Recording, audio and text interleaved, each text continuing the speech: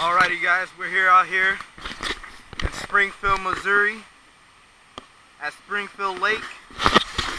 This is beach trout once again. So far we've only caught a nice, I mean nice, catfish. I'll show you guys here. Move this rock, move this pole. Nice big old catfish. I say about a foot long. I mean, he's big, ladies and gentlemen.